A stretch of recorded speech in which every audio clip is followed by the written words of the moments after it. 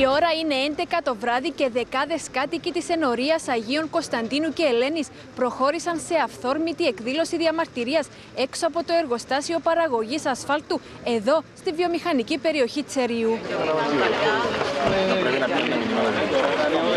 Το συντομότερο να βρεθεί λύση σε αυτό το πολύ πολύ μεγάλο πρόβλημα που υπάρχει στην περιοχή.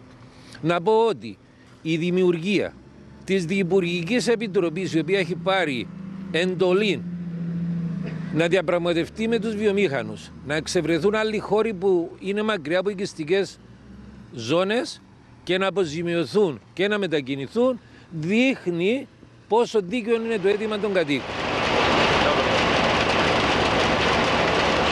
Δεν μπορούμε να κοιμηθούμε τα βράδια. Ε, αντιμετωπίζουμε αναπνευστικά προβλήματα. Θα πρέπει οι αρμόδιοι να βρουν λύση σε αυτό το πολύ σοβαρό πρόβλημα την ίδια στιγμή που η Ευρωπαϊκή Ένωση και όλες οι, τα Ηνωμένα Έθνη και όλοι οι φορείς ε, κόπτονται για την κλιματική αλλαγή και εμείς αντιμετωπίζουμε αυτό το σοβαρό πρόβλημα.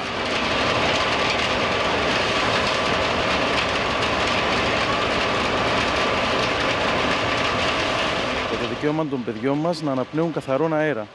Δεν θα πω κάτι άλλο. Το ότι βρίσκονται αυτή τη στιγμή εδώ 30 μαμάδες που άφησαν τα παιδιά να κοιμούνται σπίτι νομίζω είναι τα λέει όλα από μόνο του. Αν δεν δώσει το κράτος τώρα τις αποζημιώσεις, θα τις δώσει αργότερα στον καρκίνο.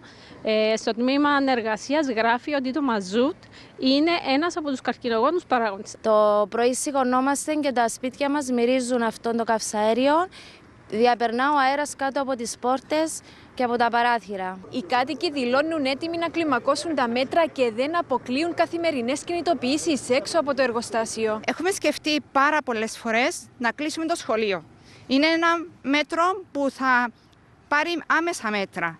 Έχουμε μιλήσει και με τον πρόεδρο της κίνησης και με τον πρόεδρο του συνδέσμου.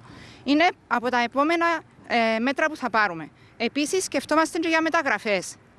Ε, δεν νομίζω κανένας πολιτικός να ήθελε να κατηγήσει στην περιοχή μας. Και προγραμματίζουν νέα δυναμική εκδήλωση διαμαρτυρίας το Σάββατο 7 Δεκεμβρίου στις 10 και 30 το πρωί στο δρόμο Χαλεπιανών με κατεύθυνση τη βιομηχανική Τσεριού.